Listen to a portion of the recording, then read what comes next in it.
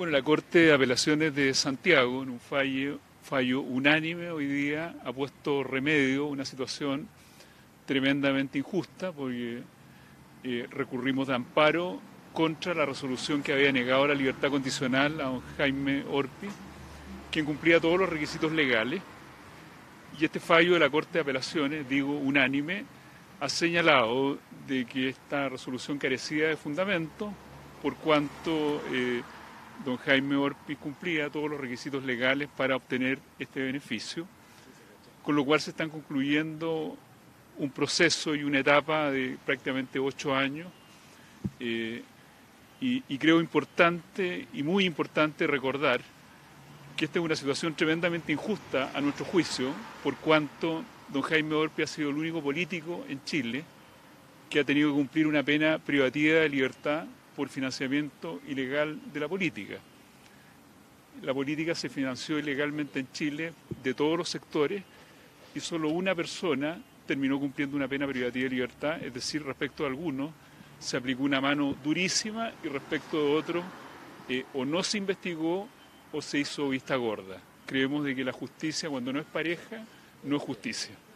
Abogado, su representado va a salir hoy eh, en libertad condicional. ¿Eso se va a materializar este día o, o, todavía se está viendo? Si nos puede detallar acerca de eso. No, ya fue, eh, nosotros le informamos y fue hace unos minutos notificado y queda en libertad inmediatamente. Abogado, usted dijo que esto era una situación injusta, sin embargo, este recurso se había rechazado en abril porque él seguía siendo un peligro. Bueno, ese es el error que contenía eh, la resolución y esto fue lo que hoy día, en un fallo, digo, unánime, la Corte de Apelaciones de Santiago ha rectificado. ¿Por qué cree usted que aceptaron? ¿Perdón? ¿Por qué cree usted que aceptaron acoger el recurso? Bueno, porque la resolución de la libertad condicional carecía de fundamento y los fundamentos que dio no se condecían con los antecedentes de nuestro representado. Abogado, ¿en qué circunstancias judiciales queda su representado de aquí en adelante respecto a lo que el resto de la condena, entendiendo de que, claro, hay un plazo, que se acota con esta libertad condicional? Bueno, él va, va a tener que cumplir los requisitos de, de, una libertad condicional, pero como cualquier persona y ciudadano él ha enfrentado esta sentencia condenatoria y ha cumplido completamente cada una de las resoluciones judiciales y ha cumplido la pena que se le ha impuesto y la seguirá cumpliendo hasta el final, eh, de manera que hoy día evidentemente recupera la libertad y seguirá acatando todas las resoluciones judiciales como lo ha hecho hasta el día de hoy.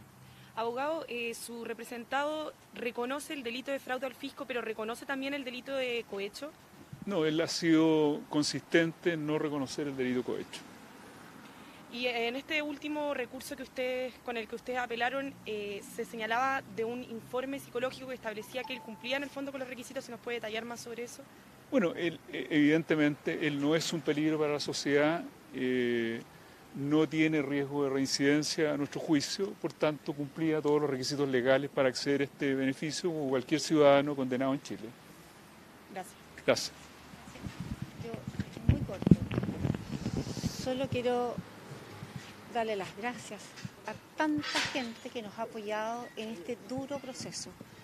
Mucha, mucha gente de San Joaquín, de La Granja, Macul, de Arica, Iquique, tanta gente que lo ha apoyado eh, y ha entendido las dos cosas. Uno, que él haya querido asumir y lo otro, que él se haya mantenido firme en declararse inocente en aquello del coche. Yo solo quiero decir que es un momento de tremenda alegría, eh, que tenemos la esperanza de que ahora comience un periodo de paz después de ocho años y medio durísimo, durísimo. Y eso es todo lo que puedo decirle. Los estamos esperando con los brazos abiertos. Eh, sus hijas han pasado un largo periodo de crecimiento con él al lado en una etapa muy dura. Y estamos todos ahora esperando estos minutos para recibirlo. Así que les doy las gracias a ustedes también, a los medios de comunicación. Y eso. ¿Debió aplicarse circunstancias similares a las de su esposo con otras personas que de alguna manera han sido imputadas y también cuestionadas por el mismo tipo de delito? Mira, es que no me corresponde a mí decir eso, ya, ya lo, lo dijo el abogado y la verdad es que la gente tiene clarísimo qué pasó en este juicio. Eh, y yo creo que cada uno tiene formada su opinión no la va a hacer variar una, una, una declaración que pueda hacer yo. Eh, sí, el- eh, los abogados han sido muy claros en, en expresarlo.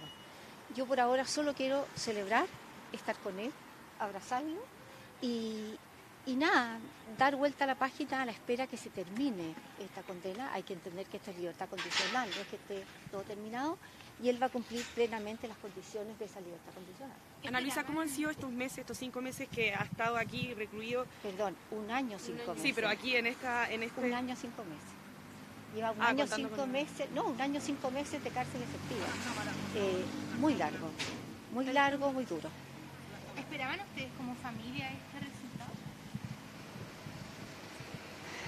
La verdad es que no. Tan pronto.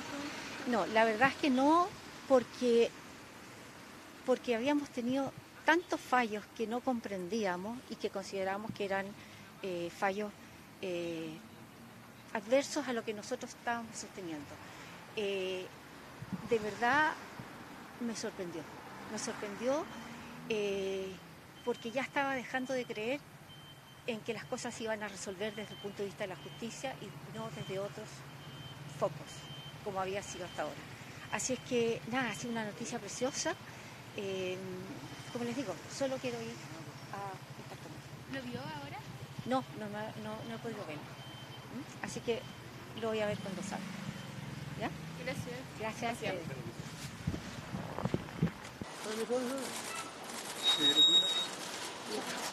Cuidado, abogado, cuidado, abogado.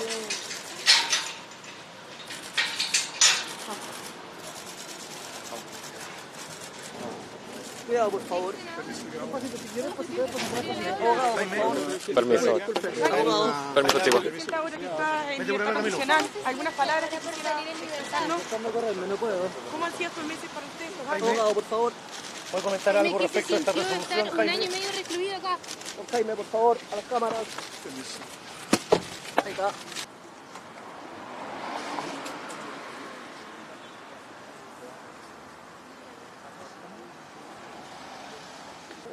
sea, en-